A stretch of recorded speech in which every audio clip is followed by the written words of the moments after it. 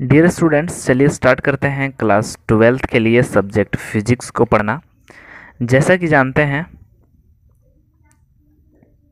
हम लोग पिछले क्लास में एक, दो नोमेरिकल्स प्रॉब्लम को आपको खुद से ट्राई करने के लिए दिए थे और उसमें लोगों को ना कुछ ना कुछ प्रॉब्लम आ रही थी सॉल्यूशन में। तो चलिए, आज हम के क्लास में हम लोग देखेंगे कि जो पिछले क्लास में आंकिक प्रश्न दिए हुए थे, आंकिक प्रश्न, यानी कि न्यूमेरिकल प्रॉब्लम उस न्यूमेरिकल प्रॉब्लम को सॉल्व करेंगे, ठीक है? अब न्यूमेरिकल प्रॉब्लम्स क्या था? और उस क्वेश्चन को दोहराएँगे और फिर हम उसको सॉल्यूशन को आज देंगे, ठीक है? तो पहले क्वेश्चन था कि कोई एक अवतल लेंस है, ठीक है? जिसकी फोकस दूरी हमें दिया था, दोस्तों फोकस के बारे में बात किया है कि उस अवतल लेंस के लिए हमको फोकस दिया था 4.5 सेंटीमीटर ठीक है? तो माइनस में करेंगे 4.5 सेंटीमीटर। माइनस क्यों होता है? अवतल के लिए माइनस, ठीक है? अब u का बात करें, वस्तु दूरी होता है तो वस्तु दूरी भी हमको अवतल लेंस में दिया था 15 सेंटीमीटर। तो ये माइनस क्यों लगाते हैं भाई? तो ये चिन्ह परिपाटी है, ठीक है? अवतल लेंस में लगाते ही हैं, इसको आप समझिए। फिर बोला गया कि प्रतिबिंब दूरी निकालिए, यानी कि भी का वैल्यू निकालना है, ठीक है? और दो माध्यम का अपवर्तनांक दिया था, जिसको हम लोग म्यू वन बोलते हैं और म्यू टू बोलते हैं। तो म्यू वन का जो यानी अपवर्तनांक है, वो टू दिया था और म्यू टू का अपवर्तनांक फोर दिया हुआ था। ठीक है? तो दो अपवर्तनांक हम लोगों को दिया हुआ। सवाल पे बोल रहा था कि हमको भी निकालना है, आप भी निकालो कि कैसे आप निकाल पाएँगे। ठीक है? तो इसके लिए एक हम लोग फार्मूला यूज़ करते हैं। अपवर्तन का एक सूत्र है mu two by v minus mu one by u is equal to mu two minus mu one बट्टा में आर। समझ में आ रहा है? तो अब इसमें म्यू टू का म्यू वन का भी यू इस सब सब का वैल्यू दिया है, लेकिन आर नहीं दिया है। इसलिए सबसे पहले हम लोग क्या करते हैं? सबसे पहले आर निकालते हैं। तो आर का फार्मूला क्या होता है?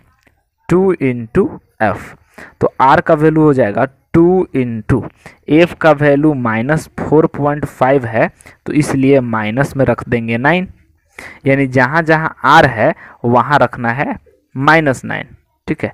तो म्यू टू के जगह पे कितना रखेंगे? म्यू टू के जगह पे रखेंगे फोर म्यू वन के जगह पे रखेंगे टू और भी के का तो वैल्यू निकालना है। तो भी का हम लोग भी छोड़ देंगे।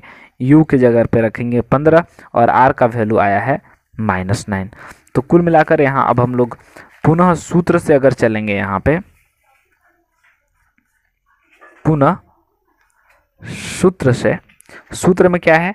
म्यू टू बाई वी तो म्यू टू का वैल्यू था फोर और भी का वैल्यू निकालना है तो वी का भी छोड़ दिए माइनस म्यू वन का वैल्यू कितना है? टू और बट्टा में यू तो यू कितना है?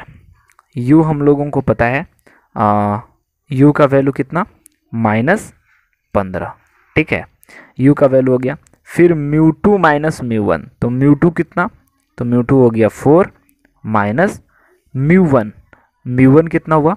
तो म्यू वन हो गया हम लोगों को टू, ठीक है? और डिवाइडेड बाई आर आर का वैल्यू कितना है? Minus nine. ठीक है। तो यहाँ हो जाएगा हम लोगों का फोर बाई वी और माइनस से माइनस कैंसिल आउट हो गया। तो यहाँ हो जाएगा प्लस टू बट्टा फिफ्टीन, दो बट्टा पंद्रह इज़ इक्वल टू, यहाँ से फोर में से टू गया कितना हो गया? Two by minus nine. ठीक है। अब हम करेंगे क्या? इसको जो है प्लस में है, उसको उधर ले जाएँगे, है ना? तो four by v is equal to, ये minus two by nine already है देख पा रहे होंगे। और ये वाला उधर जाएगा तो माइनस में हो जाएगा टू बाई फिफ्टीन अब ना, नौ और पंद्रह का एल्सियम लेंगे तो आपको पता है ना नाइन और फिफ्टीन का एल्सियम होगा हम लोगों का फोर्टी फाइव और इधर कितना होगा? फोर बटा में वी ठीक है? अब नौ से ये पाँच बार में कटेगा तो कितना होगा हम लोगों का? हम लोगों का यहाँ होगा नौ और पंद्रह का एल्सियम पैंतालीस और नौ पच्चे पैंतालीस और पाँच को माइनस दो से करेंगे तो कितना होगा? माइनस टेन और माइनस तो ऑलरेडी है। पंद्रह को तीन से गुना करेंगे पंद्रह तिया पैंतालीस और तीन को दो से करेंगे छ।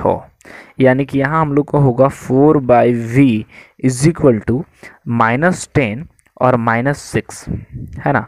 तो माइनस टेन और माइनस सिक्स मिलकर कितना हुआ? तो ये हो गया हम लोगों को माइनस सिक्सटीन। और यहाँ कितना? Forty five. दोस्त, अब हम करेंगे क्या यहाँ पे? आप या तो यहाँ से तिरछा तिरछी गुना कर लो, है ना? तिरछा तिरछी गुना कर लो, या फिर आप ऐसा कर सकते हैं कि 16 में 45 से आप डिवाइड कर सकते हैं। चलो आप कर लो। Four by v is equal to यहाँ क्या आया? तो minus zero point three six इसको डिवाइड करेंगे तो ये लगभग में आएगा। ठीक है? ऐसे पॉइंट में और भी आते जाएगा तो हम लोग दो अंक तक लिए हुए हैं थ्री सिक्स अब करना क्या है? यहाँ से लोग गलती कर रहे थे।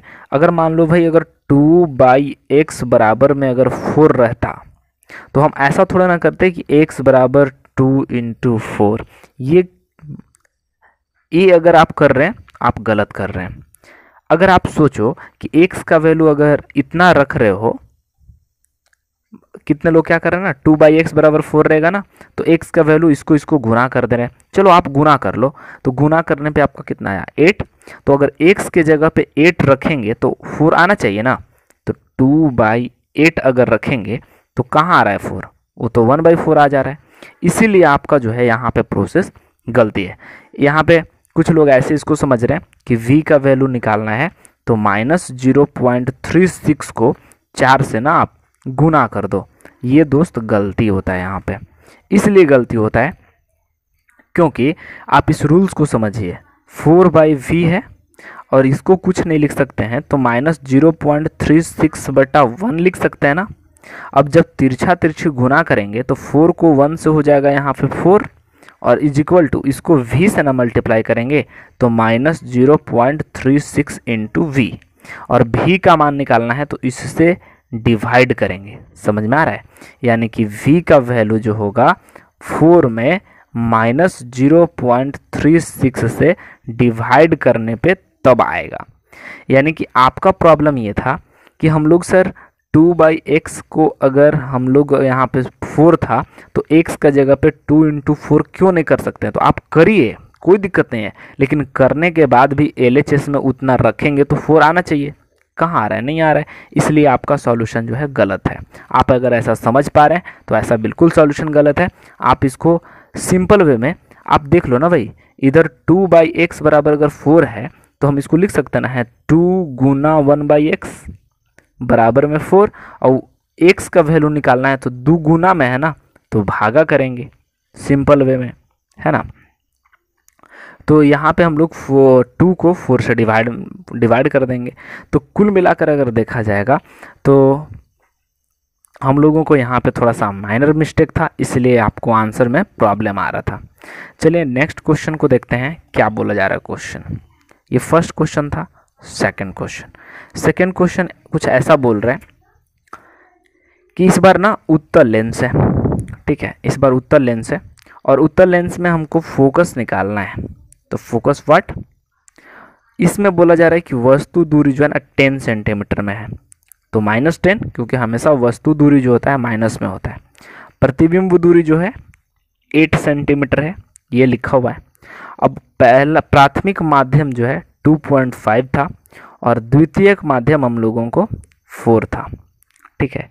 अब इसको हम लोगों को निकालना है। तो ये किस फार्मूले पे आएगा? ज़रा बात कर लेते हैं। तो सबसे पहले एफ़ का वैल्यू निकालना है, ठीक है? तो यहाँ से आप एक यूज़ कीजिए फार्मूला सूत्र से mu two by v minus mu one by u mu two minus mu one upon में आर यहाँ सबका वैल्यू दिया है, आप यहाँ से आर निकाल लीजिए और आर और एफ़ में रिलेशन होता है। आर बराबर टू एफ़ तो आर का मान जितना आएगा ना, उसको दो से डिवाइड कर देना है। ठीक है? तो यहाँ पे हम लोग करेंगे क्या?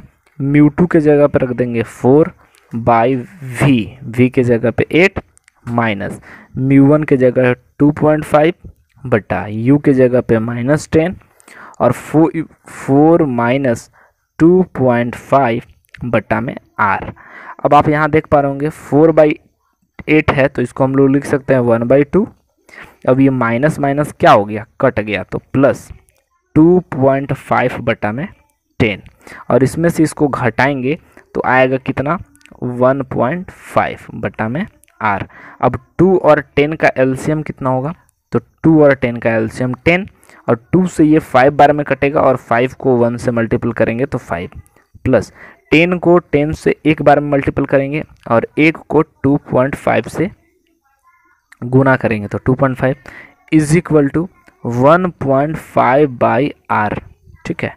अब फाइव को टू पॉइंट फाइव में ऐड करेंगे तो कितना आएगा? सेवन पॉइंट फाइव बट्टा में ten, is equal to one point five बट्टा में आर। अब हम लोग जानते हैं कि यहाँ से इसको इसको मल्टीपल करेंगे तो इसको इसको मल्टीपल करेंगे तो आएगा seven point five R is equal to one point five को टेन से गुना करेंगे तो ये आ जाएगा पंद्रह, ठीक है? इसको तिरछा तिरछा गुना करेंगे तो पंद्रह। इसलिए आर का वैल्यू निकालना है तो ये गुना में है तो यहाँ हम लोग पंद्रह बट्टा सेवन पॉइंट फाइव। तो इसको हम लोग कितना बार में कटेंगे? दो बार में। तो आर का वैल्यू कितना आ गया? टू तो आर का वैल्यू टू आ गया तो एफ़ का वैल्यू निकालना है।